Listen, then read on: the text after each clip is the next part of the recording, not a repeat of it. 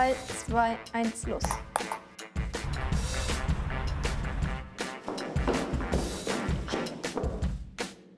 Nee, war echt voll Stress. Ich habe Ihnen hier oder uns einen Buzzer mitgebracht. Und den werde ich immer drücken, wenn Sie etwas Ja. nicht so gut erklären oder wenn Sie sich so drumherum reden.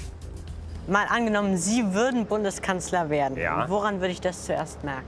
Ich würde Volksentscheide äh, einberufen, also dass die Bürger sozusagen mitsprechen können, dass die Entscheidungen der... Ganz kurz. Ja, Für, äh, für Kinder, was, was ist denn ein Volksentscheid? ein Volksentscheid ist, dass die, die Bürger des Landes mitbestimmen können, was in diesem Land passiert. Und das ist dann mit einer Abstimmung oder wie? Das wird eine Abstimmung, würde eine Abstimmung sein.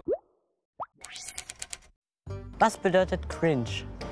Ich kenne den Grinch als Film, mehr kenne ich nicht. Nee, das, ist, das bedeutet so Fremdschämen. Aha, kenne ich nicht. Was ist ein Let's Player?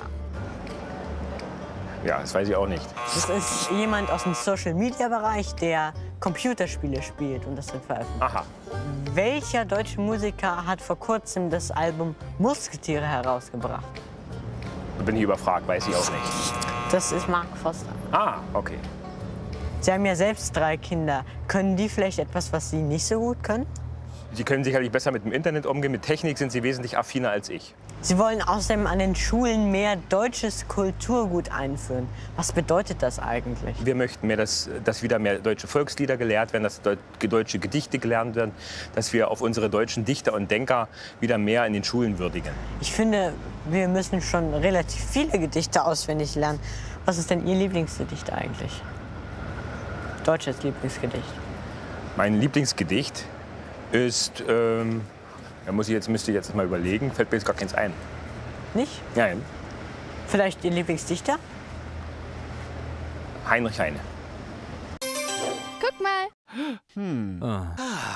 Wie schauen Sie, wenn Ihre Lieblingsmannschaft im Eishockey gewinnt? Wie gucken Sie, wenn Ihre Kinder gar kein Fleisch mehr essen? Ich will wissen, warum. Wie schauen Sie, wenn Sie jemand zu Fridays for Future einlädt? Sie und Ihre Partei glauben außerdem nicht, dass Menschen den Klimawandel verursacht haben. Das ist aber genau das Gegenteil von dem, was ganz viele Forscherinnen und Forscher sagen. Wie kommen Sie denn eigentlich darauf? Wir äh, sagen, dass es einen Klimawandel gibt. Äh, inwieweit der Mensch Einfluss hat auf diesen Klimawandel, das bezweifeln wir. Das Wetter und das Klima hat sich immer verändert und wir als Menschen müssen uns anpassen.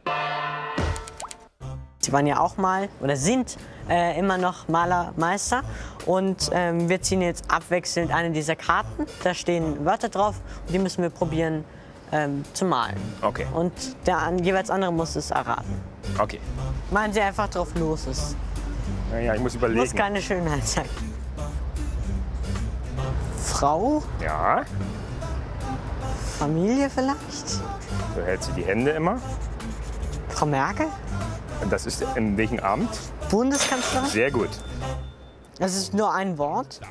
Ja, ja, ich bin, ich bin aber, ich, ich weiß nicht, ob das da oben eine Tasse sein soll oder ein Topf.